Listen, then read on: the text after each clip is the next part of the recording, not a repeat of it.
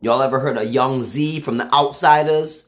Eminem's boy, he was on 8 Mile soundtrack and all that. I got a song with him. It's coming out, all platforms, this week.